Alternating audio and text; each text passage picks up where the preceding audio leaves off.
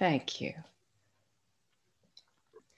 So, welcome everyone to the second talk of this four day May 2021 retreat at Mountain Cloud. Zen Basics. Basic in the sense that Henry put it a human being sitting is the whole of Zen. Basic in the fundamental sense that this practice is about you. It's about each one of us addressing questions that speak to the core of who we are. Basic in that we're all beginners. There's no other way. A first Zen retreat, one year in, many years of practice. It's all right now. Only now. Such a relief so refreshing, so alive, and so unknown.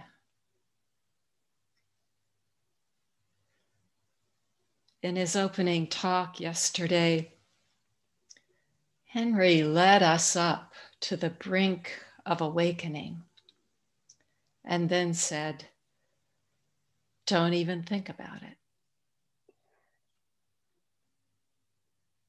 But he had already shown it repeatedly, directly, and indirectly.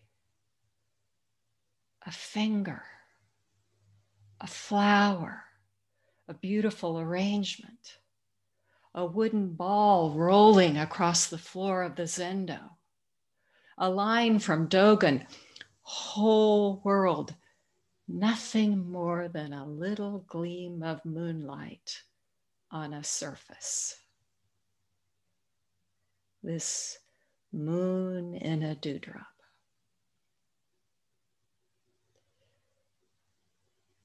He showed it in a word about a path, a practice, a reality beyond words, outside of scripture.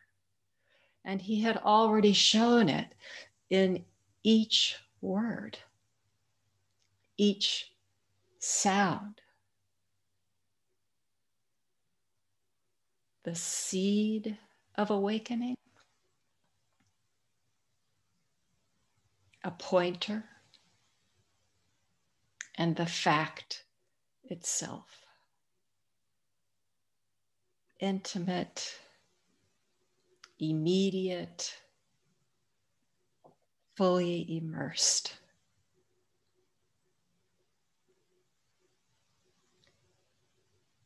But words fail. Words, this tradition notes, are like a finger pointing at the moon.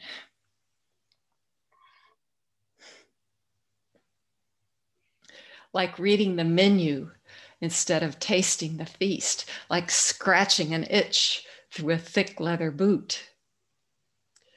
Instead of words, Zen has created and also along the way emerged from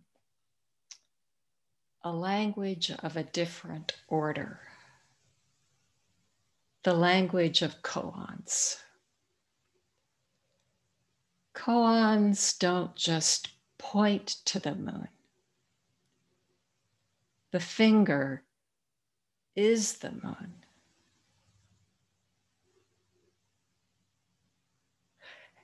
Henry's still holding it up.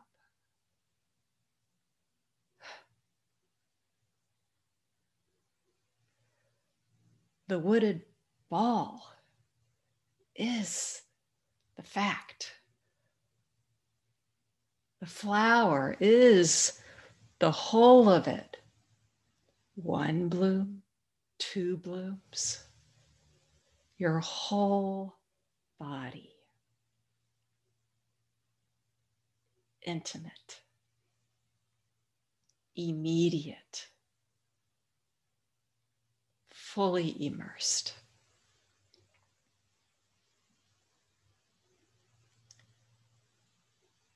koans have been described as riddles or puzzles. But that's not at all how they function. There's nothing to solve or figure out, nothing to navigate, nowhere to get a hold. Koans function when they do like a sword, as the masters put it often, or a solvent,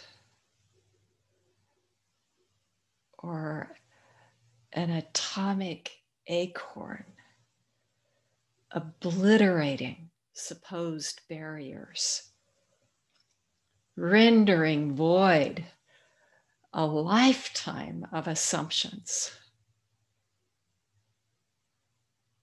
Can happen.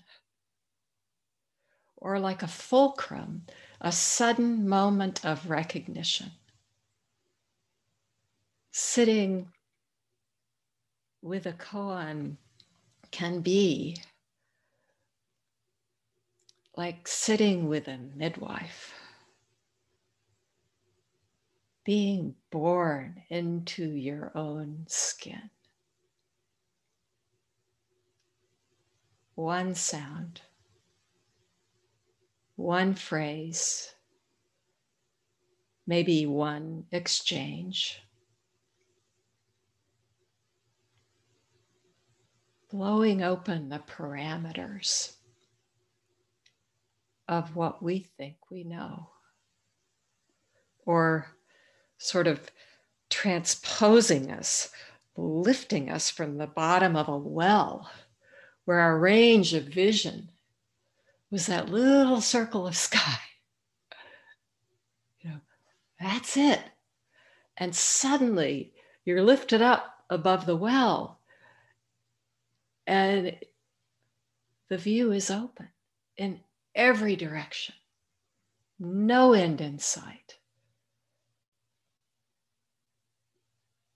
could say 360 degrees or 360 times 360. No hindrance.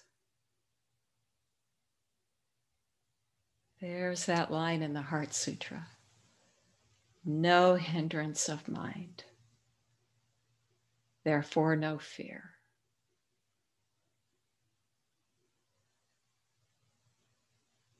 What could there be? To run into.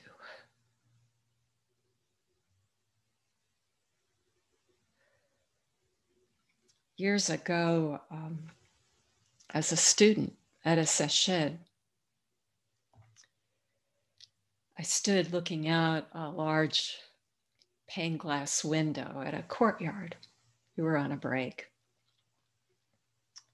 There was a yellow wall stucco wall of a building and it met a red clay tile roof. then a garden in a stage of bloom and a river beneath it. And on the other side, this gentle wooded hillside leading up to the mountains. It was a beautiful place. Each bit of the view, each surface.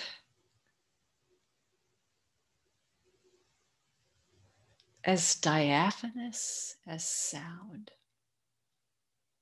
and as precise as perfect pitch. I was a musician at the time, just looking. What is that? How can you name it? Each single thing, of course, empty, lacking any substance, and at the same time, utterly complete.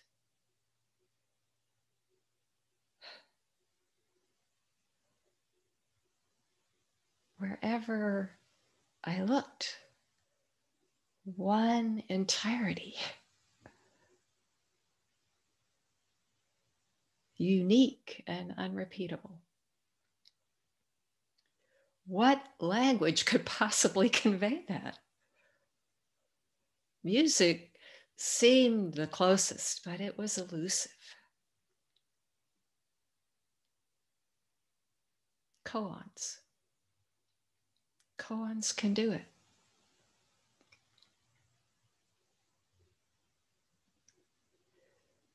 That wonderful poet, hermit, artist, Zen master, and self described fool, Ryokan has a verse about awakening. And it ends with these two lines. Once you've really seen things as they are, there's no more moon, no more finger.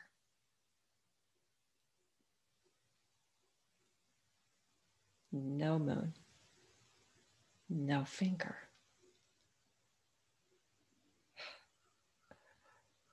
And yet here we are.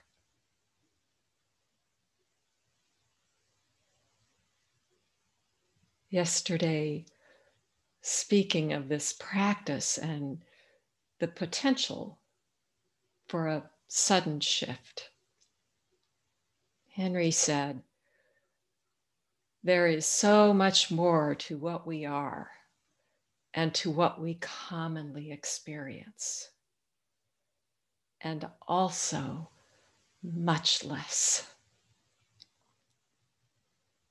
Much more. Infinite capacity, nothing outside this, nothing lacking, and much less. So much less. Really, nothing at all. such a wondrous nothing at all.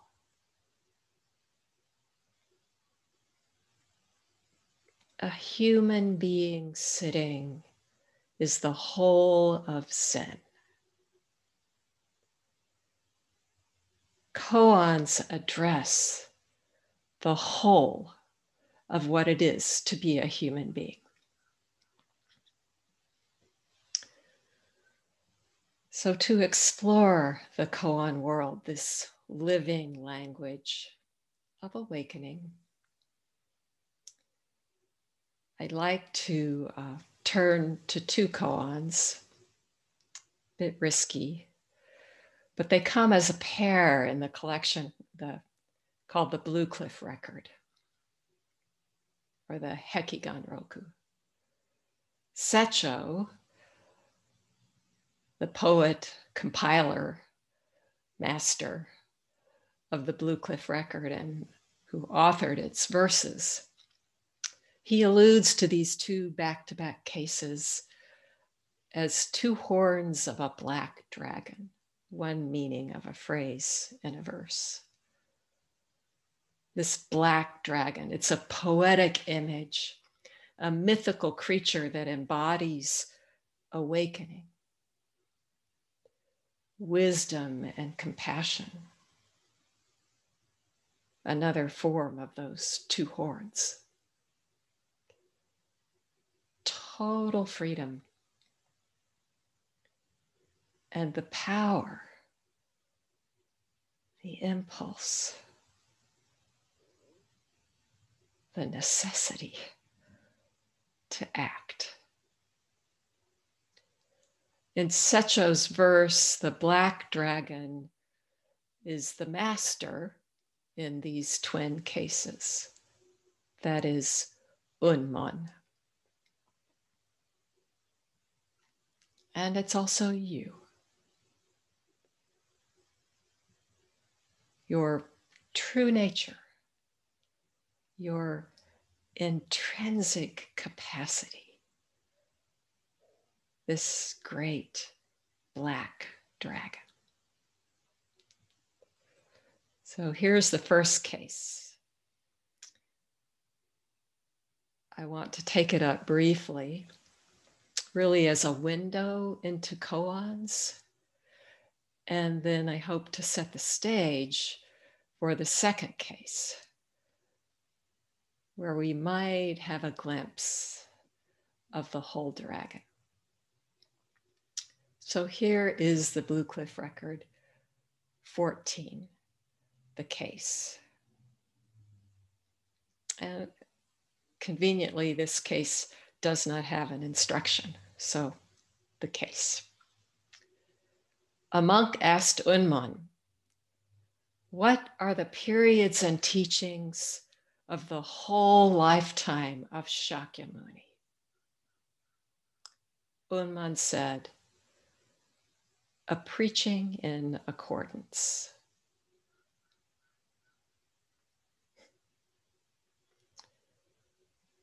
This is Ummon or Yunmen, that great 9th to 10th century master who lived near the end of the Tang dynasty in a time of tremendous political turmoil and loss. It so sadly resonates. So Ummon, some 400 years after Bodhidharma. He was, Ummon, a central figure in the development and use of koans, and he appears more than any other master in the three major koan collections that are part of the Sambo Zen curriculum. So we have the Mumonkan, Gateless Gate, Blue Cliff Record, Book of Serenity or Book of Equanimity. Ummon shows up 18 times in the Blue Cliff record, eight in the Blue Book of Equanimity, and five in the Gateless Gate. There's a range, a wonderful, vivid, dynamic range of his, his speech, his, so to speak, utterances but he's known for these really short, terse responses, what are called, you know, known as Ummon's one word barriers, sometimes called live words or old cases. I mean, many of you know these. What goes beyond, what transcends all the Buddhas and the ancestors? Sesame rice cake. What is the pure Dharmakaya?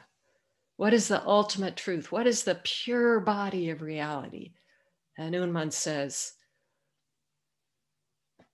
single beautiful, terse Japanese word for us flowering hedge. In other words, the hedge around the privy or outhouse.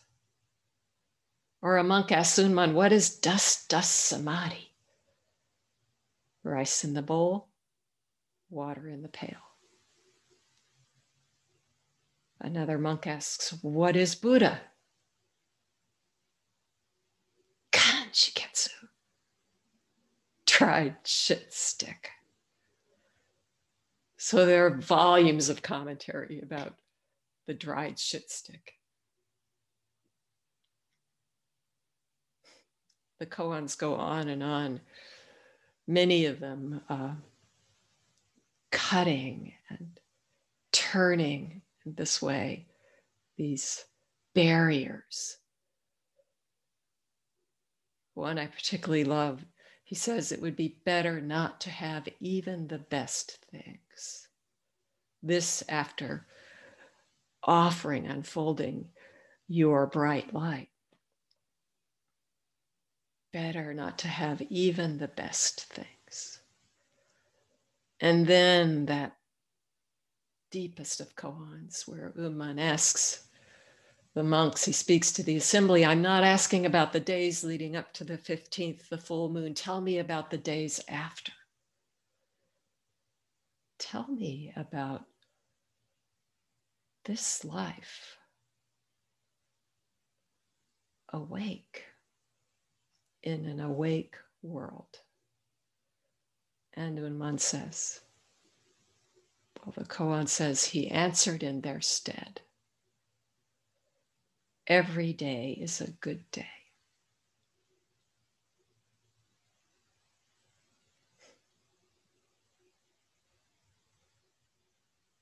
That's an atonic acorn. That's a fulcrum. Breaking our heart all the way open.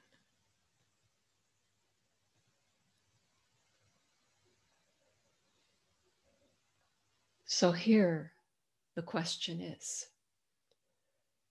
what are the periods and teachings of the whole lifetime of Shakyamuni? And Ummon says, according to one translation, a teaching in accordance.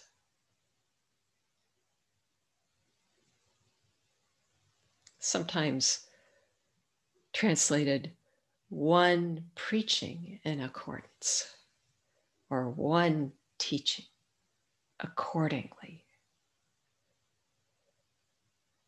49 years of the Buddha's teaching, which was traditionally divided into periods and types of teaching. All of it, the sum total of the lifetime of the Buddha. Ummon says in Japanese, one word, taisetsu. One preaching accordingly. So, just quickly, Ummon, this master of language, himself had a saying about how language functions to convey the Dharma, about koans. They're uh, known as Yunmen's three phrases within a phrase, or one phrase should include three phrases. And those three elements, those three ways, are the perfect fit of the box and the lid. Waves following waves, and cutting all streams asunder. One turning word, one phrase. Box and its lid. Perfectly fitting. Not the slightest gap. No wind of any kind can pass through not a trace of doubt or a concept, nothing extra. Another way this gets translated, this box and lid, is covering heaven and earth. So total, nothing outside it. So presenting a koan, this hand and glove as we've heard, every koan is mu. And each koan presents this intimate world in a unique way. Wave upon wave, or going along with the waves. might be describing Ummon, who faces each student. You know, responding to that student's understanding so naturally.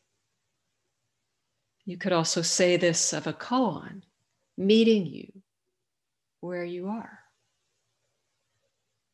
inundating you in its wave, just as you are.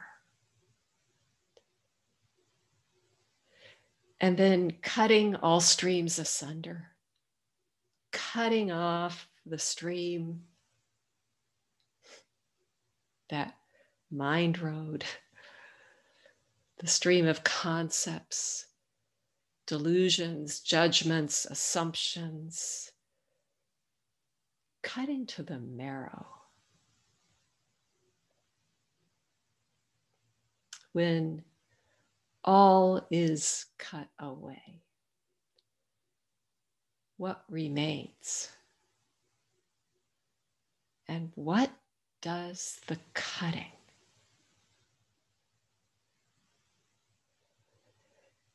It's not the teacher, not even the koan. It's you. The fact of who you are.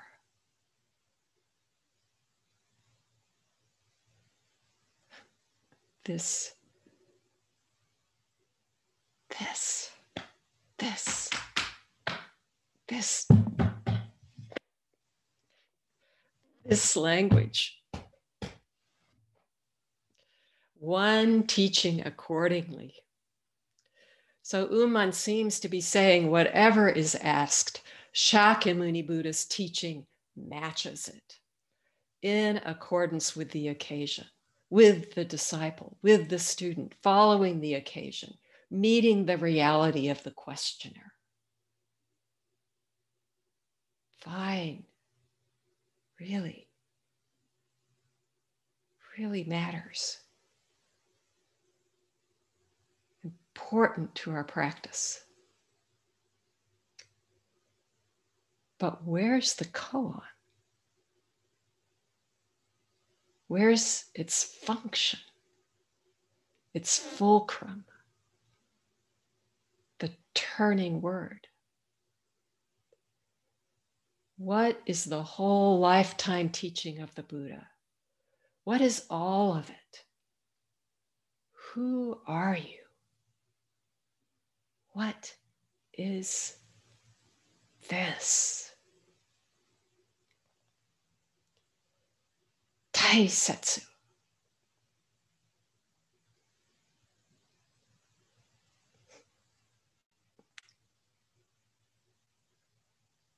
One preaching. Even accordingly.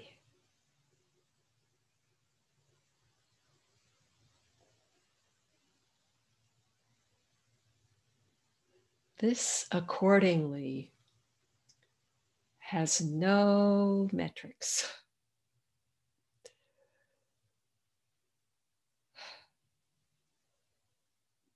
Taisetsu is nothing but mu. Tai Taisetsu.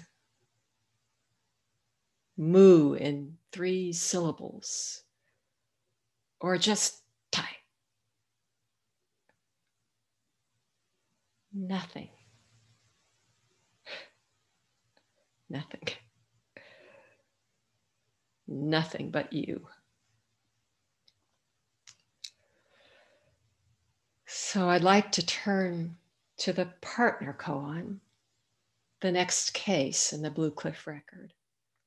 This is case 15. And in this case, there is a short introduction by Master Engo, very short and very instructive pointer. So I'll read the instruction in the case, and then I hope at the end to have time to visit the verse. The instruction a sword that kills, a sword that gives life. This is the traditional principle of old, the pivotal point of our time. Just tell me where at present is the sword that kills, the sword that gives life. And Engo writes, I will give you an example. Look.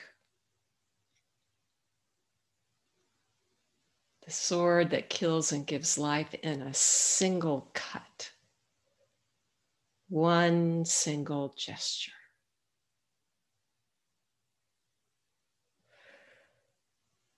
This is the sword of Mu,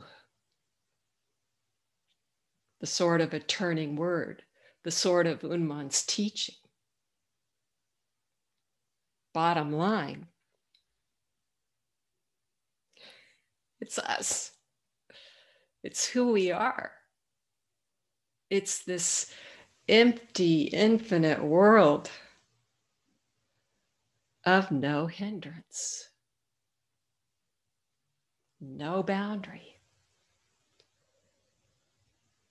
and 10,000 myriad things. Such specificity. Where at present is it?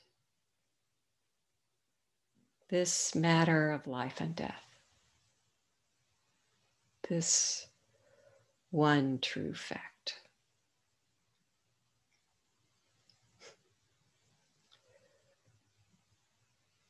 Here's the case. A monk asked Ummon,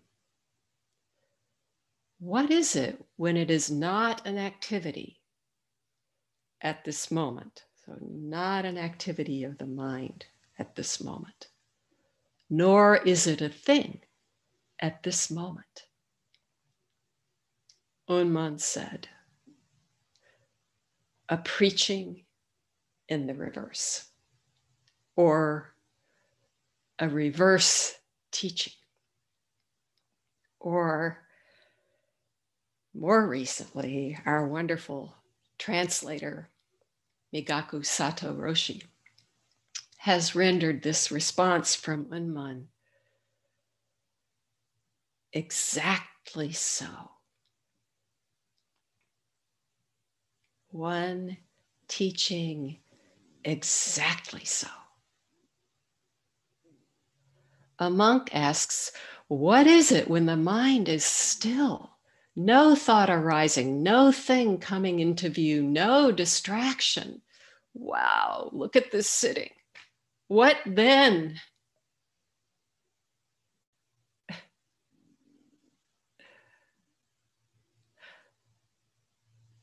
The monk asks about it. What is it?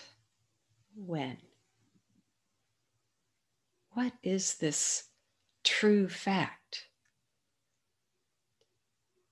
What is it that has nothing to do with objects of thought or things in the world? What kind of it is that? Yamada Koun Roshi comments, I love this. Most people would be driven up a wall by this question. But Ummon answers immediately. Exactly so. This monk is tied up in a concept as if who we really are, this real life, Buddha nature, essential nature, your original face, your native ground, your original spontaneity, as if all of that that one thing has nothing to do with thoughts or things or whatever arises in this world. However lofty we might think it is to sit so still. This monk is entangled in a divided world. What then is it? Exactly so.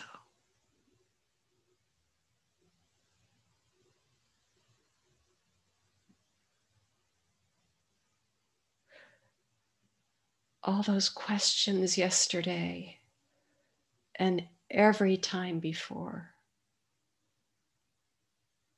about our sense of lack, about the challenge of loving ourselves, about this ache in the heart. Exactly so.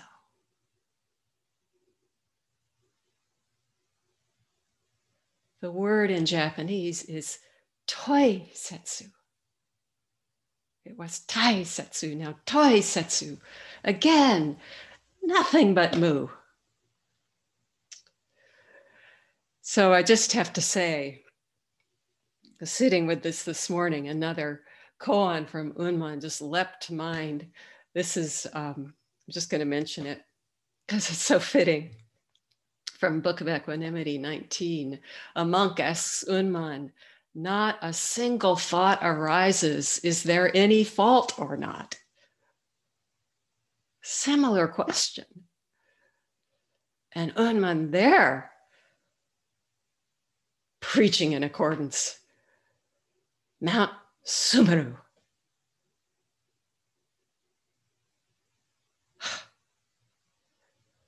I mean, this Mount Sumeru blows everything away. At the same time, exactly so, presenting great fault. There it is. Box and lid wave upon wave, perfectly cutting. Wisdom and compassion, hand in hand.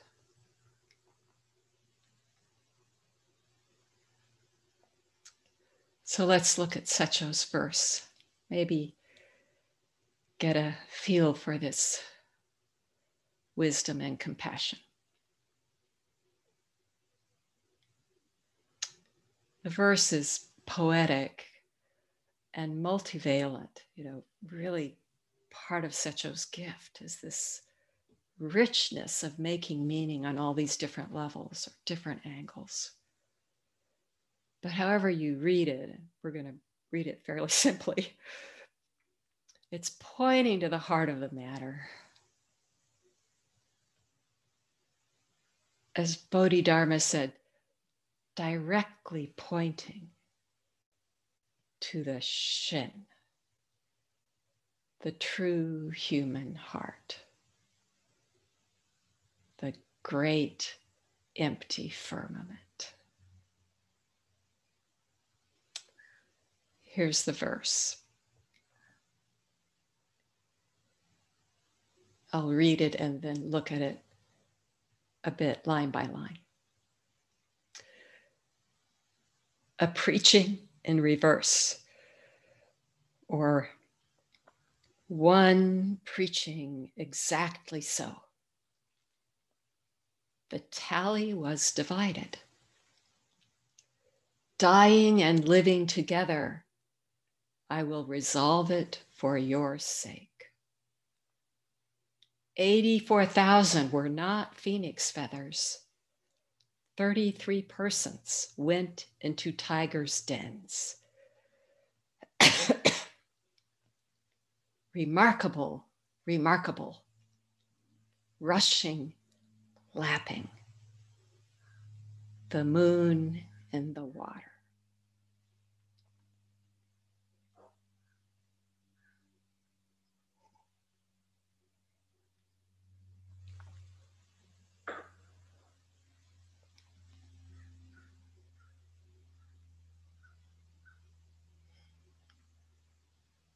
This moon. Just a few days till the flower moon. Almost full. But here, completely full. Always full.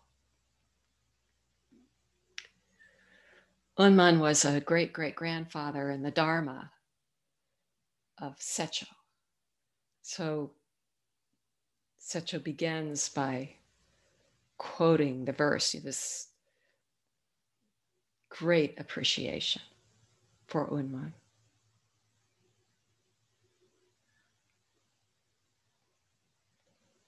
One teaching, exactly so. And then the tally was divided.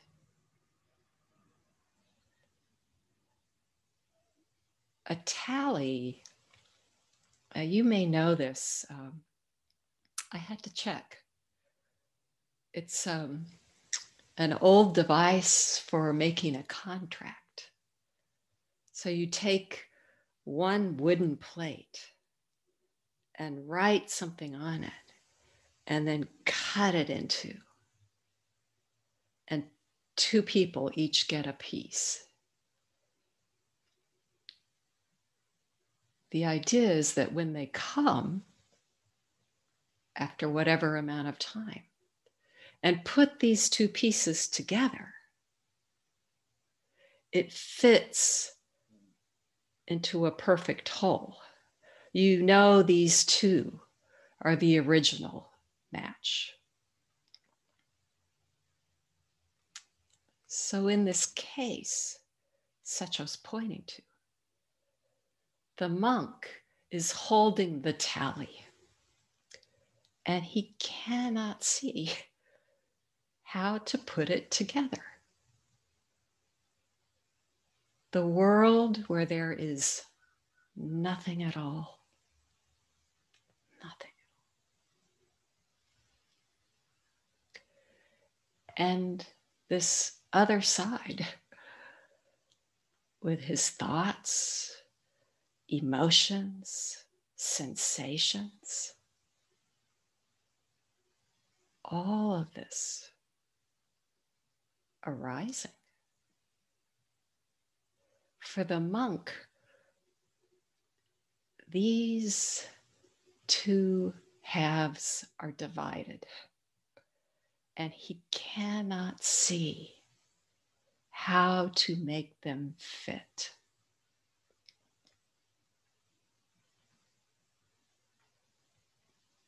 Ummon's response, one way of seeing it, of receiving it, is that it puts the tally together.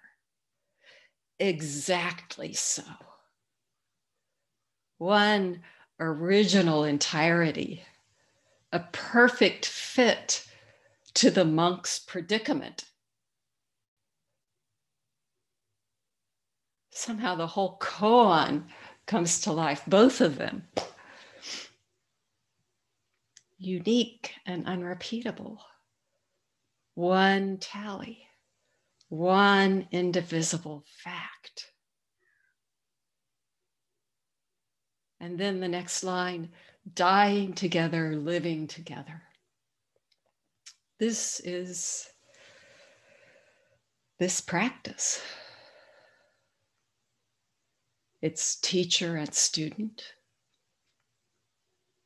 and it's the reality. This one body. Ummon embodies it for the monk and for us.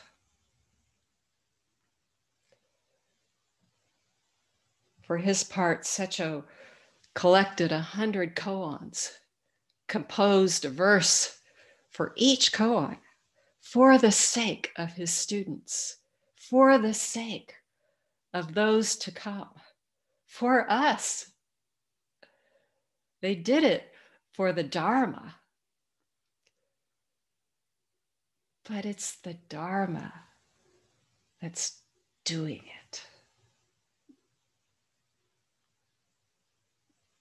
There's a pointer here. When we say, let Boo do everything, that's already going on. dying together, living together. That one who says, I can't put these two together. That's it. That's whole. I can't do it. There it is. Completely whole. The whole of it. The monk is putting it together right there. I don't know how to do this.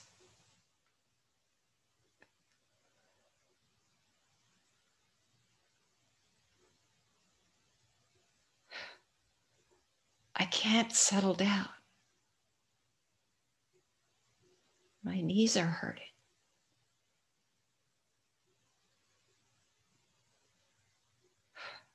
How can I see that this empty, infinite world of constant change and total dynamism, this topsy turvy world, in a sense, this luminous, evanescent, all pervading world is none other than this world.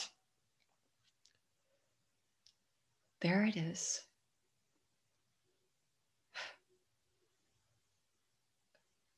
Put together.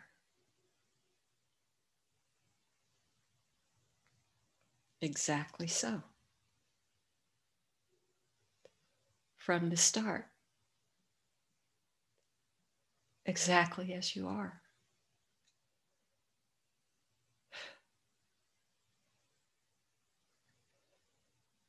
Right here in our searching, our longing, even our confusion, it's nothing but the Shin, the one heart manifesting, showing itself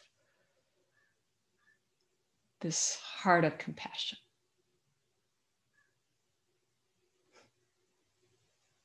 I have to say, boundless. It's boundless compassion pouring itself out. The verse goes on 84,000 were not phoenix feathers. 33 persons went into tigers' dens. So, according to Chinese legend, a phoenix is a great child worthy of inheritance. 84,000 could refer to the number of persons or beings, earthly, heavenly, everyone gathered to hear Shakyamuni Buddha's preaching.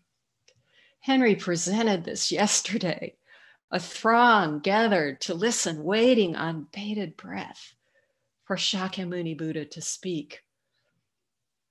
As it turned out, his last sermon, his last preaching, his last teaching publicly.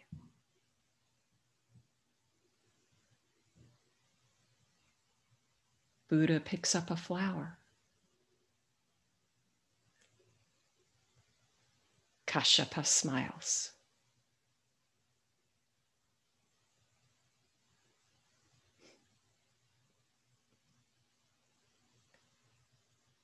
This one recognition. Don't even need to say that. 84,000 are not phoenixes.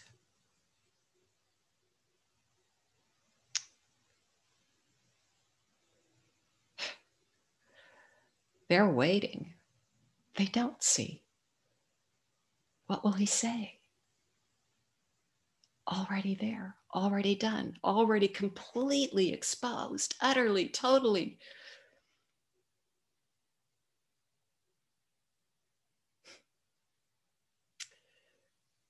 They don't see, but the Dharma continues for everyone.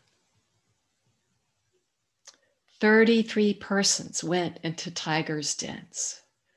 So Setcho points to the 33 ancestors, the masters, 28 in India, six in China, up to Huineng, the sixth Chinese ancestor, and Bodhidharma, the last in India and the first in China, counts twice. 33. These 33 can do the courageous feat of teaching. They can convey the Dharma.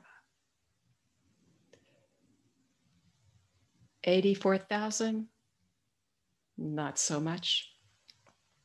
33, really do.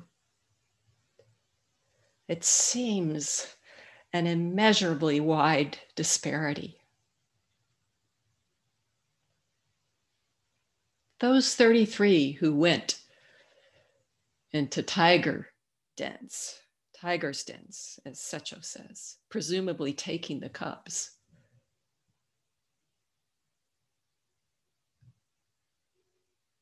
That's lots of courage, lots of clarity. Why did they do it? For us, for the 84,000, for the millions in their wake. These 33 are ancestors for us by virtue of the world they open up. It's even difficult to put that in the past tense.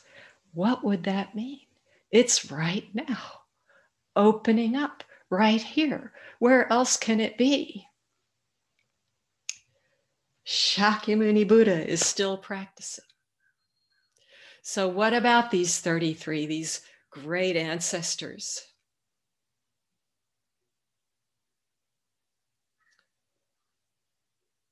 It's each one of us.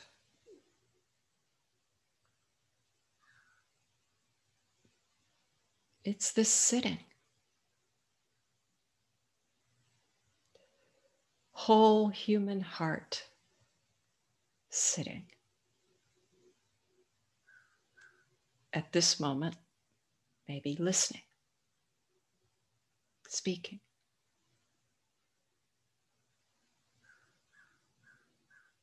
We could say hand in hand with the ancestors, following their path, taking this up with this deep intention, actually going deeper. So, for the sake of 84,000, or 10 million or just one for the sake of one.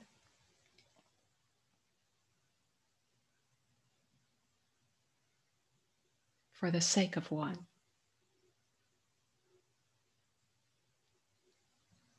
Remarkable, remarkable, the last line of the verse. Rushing, lapping, the moon in the water.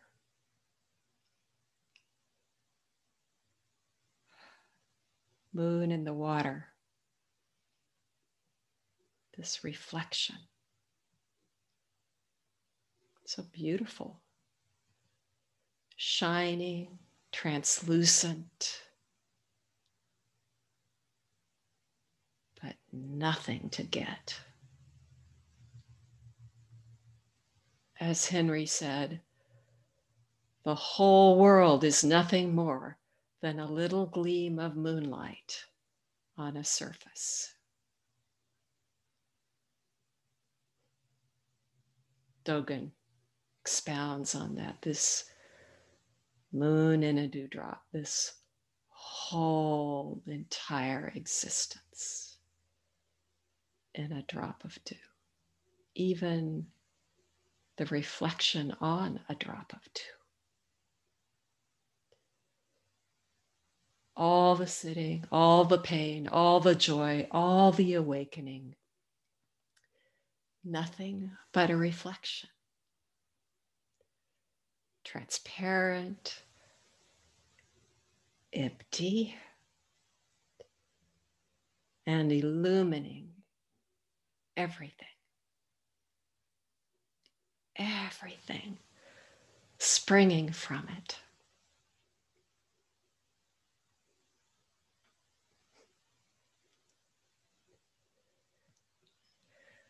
Nothing of substance. And yet, here we are. It's us. Each one of us. Each of the 33, each of the 84,000. Moon on the water, the full moon. No distinction can divide it whatever you do to this tally, even the slightest bit of it is the whole.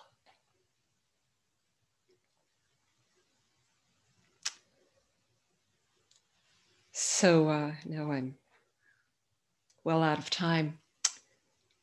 I'd like to close with um, a short discourse by Dogen that if there is one, I could say I carry around sort of tucked in, near to the heart. It's about this bodhisattva vow and this aching sense of lack.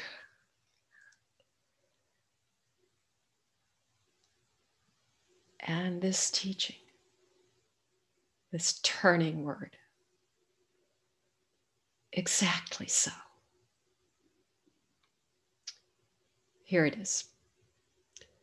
The teacher Dogen said, 2,000 years later, we are the descendants of Shakyamuni. 2,000 years ago, he was our ancestral father. He is muddy and wet from following and chasing after the waves it can be described like this. But also, there is the principle of the way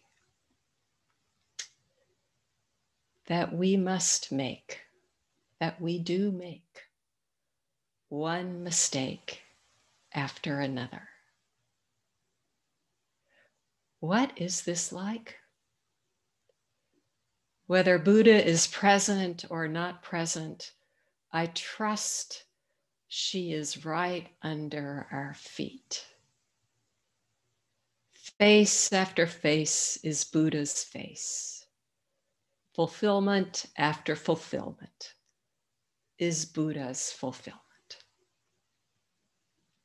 That fulfillment right here. Let's taste and see. Thank you so much for listening, for this long listening and this shared practice.